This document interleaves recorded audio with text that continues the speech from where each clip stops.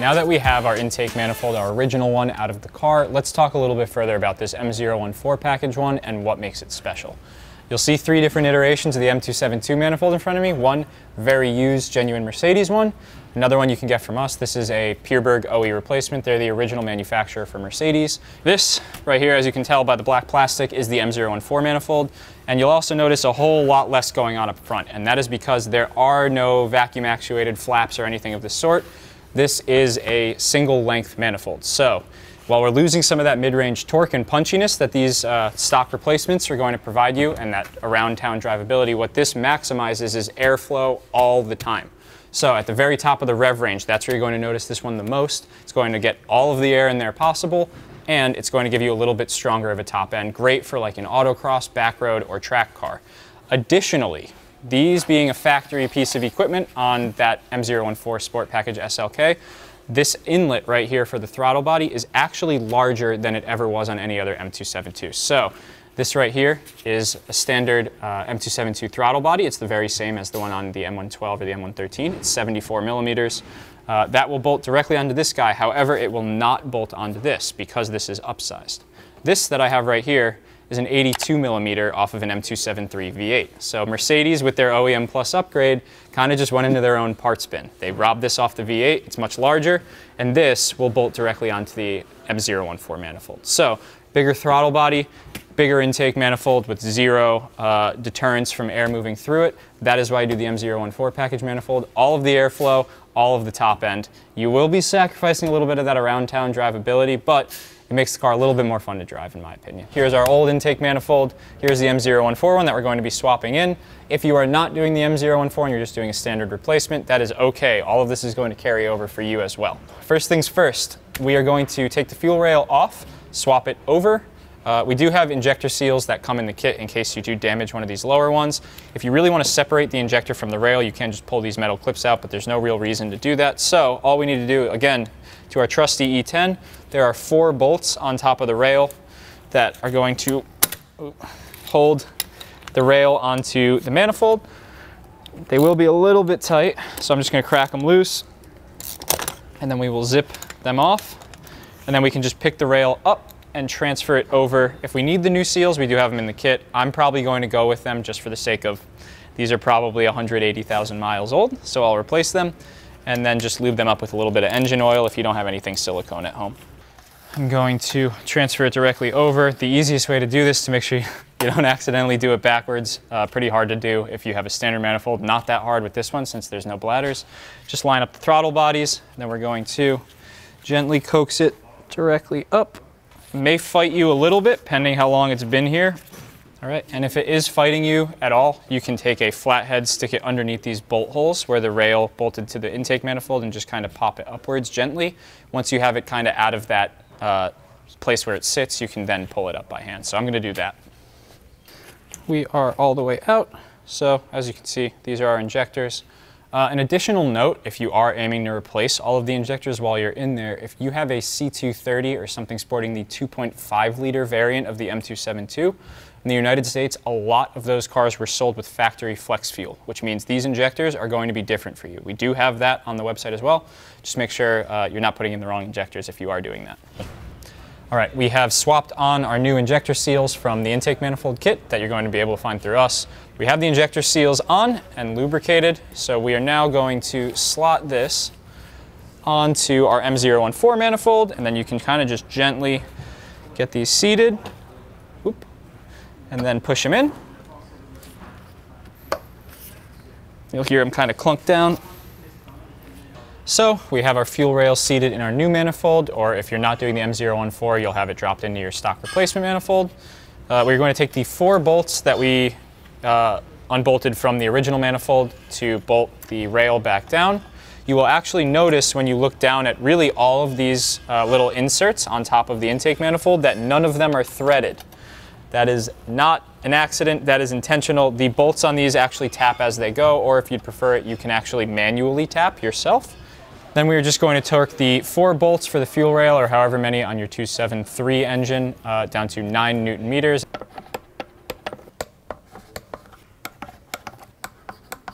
Fuel rail is torqued back down.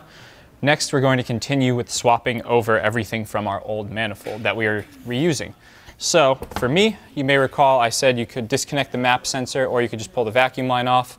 Uh, I chose to disconnect the map sensor, so I am now going to pull this vacuum line off of its port on the old manifold, swap it over to the appropriate uh, relief that is cut on this M014 manifold. It just slides on. Uh, if you have a stock manifold, it's going to be very much the same uh, procedure. It might be a little trickier to tell because you have these big air bladders in front, but it's going to be the same game. So just take your time, make sure you're swapping the right one over. One will go to the map sensor, the other will be from the secondary air pump that we pulled off before we pulled this intake manifold out. Uh, additionally, if you do manage to get this plastic part off of the old manifold without snapping it, uh, for the M014, because it doesn't have a relief cut for this, you're actually going to want to pull the plastic nipple off entirely so you're left with just vacuum line. And then you're going to just plug that directly onto the nipple here. Whereas on your new manifold, I believe you'll already have uh, this plastic part attached, so you'll have to do the same thing. But if you don't, if you're using an uh, aftermarket manifold or something like that, you can just pop this guy directly into the hole. So map sensor into this guy, and that will be directly up top of the uh, wiring loom. It'll plug back into its bracket. I uh, am going to go extract the little piece of plastic that you may recall broke off of the secondary air pump vacuum line so that can just pop directly into place. Now it is time to do the throttle body. Again, we're going to be cutting our own threads on the inserts here. I am going to bolt this guy down and when you torque these, these are also going to be 9 newton meters.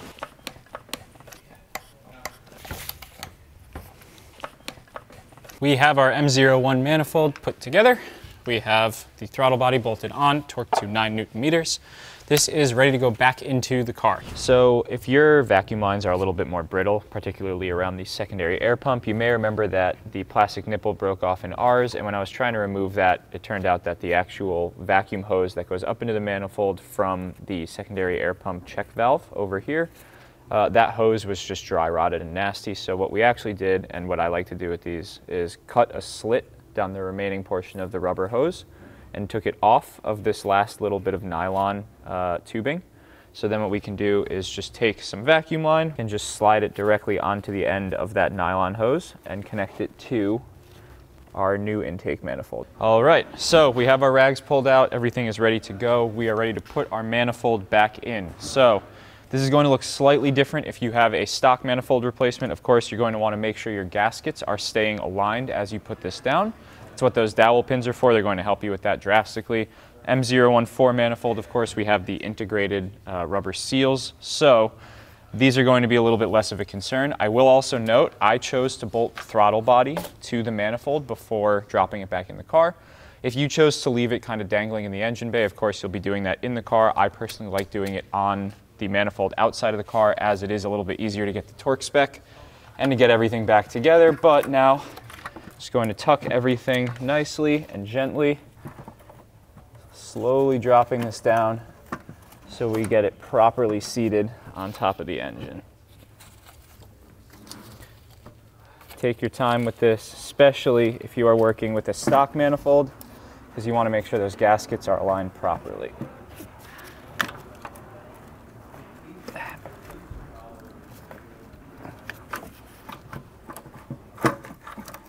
right, we're most of the way down here. Get our bolt holes lined up. And that is a manifold loosely in the car. All right, so we now have all of our bolt holes lined up for the manifold. I am going to do this in a cross pattern just to make sure we're getting even pressure distribution as we go. Torque spec is going to be 9 newton meters, and I'm going to be going across and then uh, widthways, and then I'll torque it all down. Uh, I am using a dab of Loctite here, just a very small amount. Uh, that's because on this manifold, I know it's never coming out again, considering there are no runner flaps to go bad. So I will be doing that. I'm also going to trim this rubber hose to length so that it can fit on this nipple in the front. This is the one that we just added on. But let's get those bolts in there. I'm going to start off just threading them by hand, just to make sure we have everything lined up properly. And then again, the torque spec on these is going to be 9 newton meters. You're going to want to be careful with these because they are very easy to snap. And additionally, now that we're going to the composite manifold, uh, if you're torquing this down on the magnesium manifold, of course that is metal, so it's a little bit more resilient, but we don't want to crack our plastic manifold either. So with our intake manifold torqued to spec, we can now start plugging everything back in. I'm going to start at the rear of the engine with the throttle body. So a reminder, this is our squeeze type connector. We're just going to tuck that underneath. And you will hear this one click in and you'll kind of feel it too as you're coaxing it onto the connector. All right. So we have that on. You will notice that the cable is kind of looped underneath. That is fine. It's not going to intrude on our uh, intake boot as we go to put that on in a bit. Additionally, while we're back here, we do of course have that one other sensor at the back of the driver's side cylinder head. So I'll just plug that back in. It's going to be the reverse of installation, which will be push down until you feel it gain appropriate depth and then click down on the gray tab. That's going to be kind of the theme of a lot of this, plugging it back in, you'll push it down, and then you will seat the gray tab, which will give you a nice little satisfying click. Uh, friendly reminder, if you did loosen the metal uh, connector that holds the loom onto the dipstick tube bracket, you're gonna wanna seat that again. So you just push it down and it'll clip on. So that is done. Now, as you can see, I kind of have the wiring harness, at least on the passenger side here, loosely mocked up with where everything's supposed to be. Uh, if you are doing the M014 manifold swap, you will have a loose sensor at the rear of the engine. That is because we have deleted the uh, intake flaps, so we are omitting that rear flap sensor. That was the one that was formerly transverse mounted at the back of the manifold, so you will have a loose connector. Otherwise though, uh, you're going to have the standard number of fuel injectors, everything else. So I'm gonna go ahead start plugging in our fuel injectors. Starting at the front is usually the best idea. So it's going to be the same thing we were talking about earlier. Make sure you push it down so it clicks and then press on the gray tab so you hear an additional click and that'll ensure that it is locked into place. If it hasn't locked into place or if it's not fully seated, you will get some very funky drive dynamics as one of the injectors is either intermittently firing if it's a partial connection or if it's not firing at all. For example, we have uh, one of the injectors here just going to press down and then gray tab. So you heard a nice little click there. So I have one more to do on the passenger bank and then three more on the driver's side, of course. And then from there, we get to move on with some additional steps. Okay, so with our injectors all plumbed up, we have the two sensors at the rear of this that'll be flopping loose. That is a direct result of us doing the M014 swap. You'll also have this guy, normally would have plugged in right here on a standard manifold. That would obviously go into your normal manifold. Uh, you'll have a connector for that. I am now going to do our uh, low load PCV hose. So this is the one on the driver's side. This kind of just tucks underneath the loom. Actually, better way to do this is to go underneath this bracket because the bracket itself actually clips onto this hose. So tuck it underneath. And then you can kind of see this is going to be very brittle so I urge you to be gentle with it. But it's going to just go right over here and lock into place. And then of course this bracket is going to bolt right here. That's for our ECU to sit upon. But for the PCV breather hose, that's going to pop directly into the top of the throttle body and then just push down. It's not going to lock into place or anything, but you'll get it seated level with the throttle body and flush. And then while we're in here, uh, we can start throwing some of our other plugs back onto the fuel rail bracket. And then we also have our other breather hose that plumbs in here. We can clip that in to the PCV.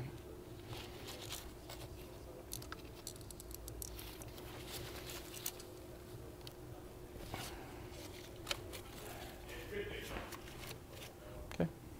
This guy you can just press fit on, you'll hear it click, and that'll lock it into place.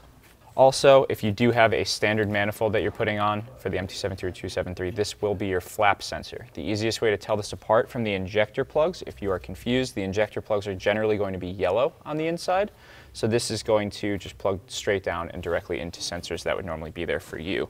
For the M014, of course, we won't have that, so these will be left flopping. I may actually unbolt them from the old manifold and just stick them on so they are flopping loose in here.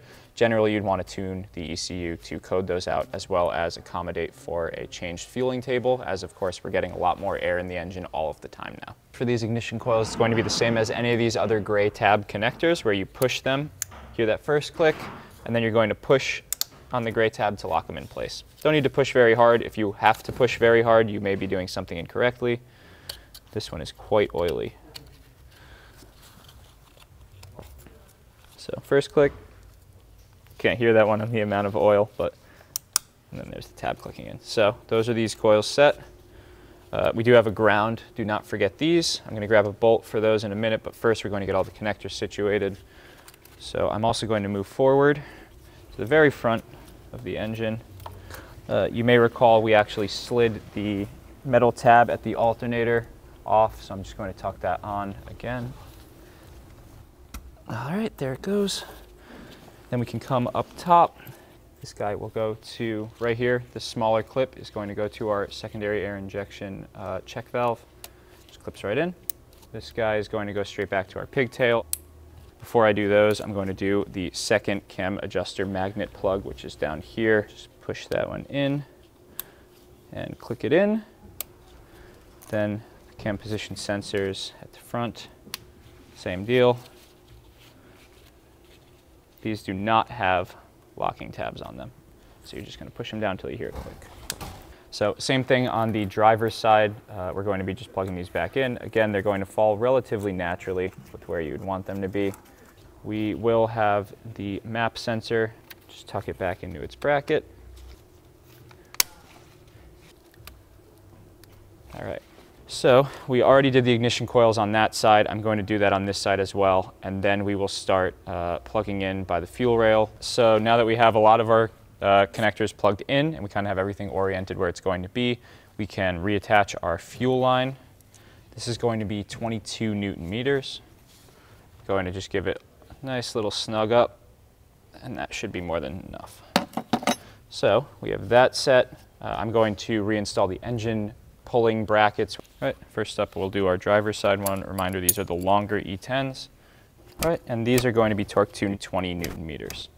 All right, so that is the driver's side set. We are going to do the same on the passenger side. All right, now is a great time before we forget to reconnect our grounds.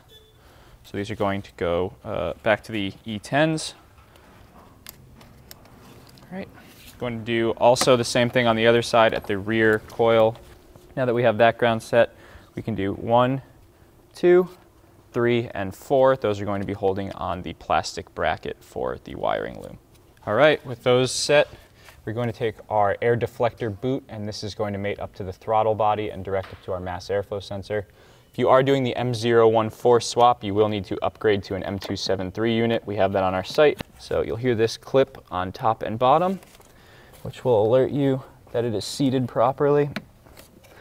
And it has a bracket on top of the throttle body that it's going to clip onto. So that is going to be fully flush and seated. You can give it a little tug if you want to make sure. Uh, if you do have used seals on this, this of course is a new air deflector boot, so it's a little bit tighter of a fit. If you do have used ones, it's going to look a lot easier than I just had it. But then we're just going to make sure we tuck this onto our oil drip tray, which is a portion of our high load PCV system. This will also be a bit tighter of a fit because we do have a new hose on here. We're going to push it so it sits level with that little rectangle on the plastic uh, nipple coming off of the drip tray. All right, so now that we have our air deflector on at the rear of the engine, we can put our mass airflow sensor back into place. There's going to be a relief cut in the back of it that will slide onto the metal clip of the air deflector boot. That may help you orient things. Worst case, you can use a pick to kind of move it out of place, but you should be able to just kind of wiggle it in. And you will want to mount uh, these tabs onto the relief at the back of the manifold. There are positions you may recall to clip this in. All right, so it's always a good idea at this point to take your flashlight and look down. Make sure your air deflector boot is still flush mounted on your throttle body because of course any leaks around that seal or the seal not uh, actually locking onto the throttle body are going to cause some really bad running conditions and additionally some gunk into the intake manifold and into the throttle body. You can also take your plug for the mass airflow sensor, pop that in, click, and then lock it down with the gray tab. So we have our last E10 bolt. It's going to be 9 newton meters up here. All right, so I'm back to my T30s. We have a few of these that are going to be at the top, but I'm also going to lock the harness onto the engine mount bracket with these. And then we have a series of T30s. These are going to be holding on your engine computer brackets. So we're going to go ahead and get those snugged up. Those are nine Newton meters as well, as, and that includes the two at the rear. All right, so we have everything torqued down up top. Last step here, plugging the ECU back into its bracket. These just kind of press fit in. Before I do that though and actually seat them, we do have the connectors at the fuel rail down here and at the bracket itself. So I will do fuel rail first, clip that into place. We also disconnected this metal bracket that's right over the uh, where the line connects to the rail itself. That just slides on top with a little bit of force. You may need to pry the tabs out a little bit. So that clips into place. We have this connector all right, and that's going to clip as well. Move our large connector just out of the way. Drop the ECU on top. I like to take a hand and just press it in. Then this guy looks intimidating, not so much. You just press it kind of into place. And then as you push this tab in, as you can see, it's sucking the plug inwards. We are now fully sealed up after our M014 swap. We're going to start the car up in a moment here check for leaks once again, for fuel at the injectors underneath the manifold. Then after that, we can button up the engine cover and everything. We are bone dry as we should be. And put our hand on the engine. There's no weird misfires that would signify maybe an injector not firing. Things are getting settled down now.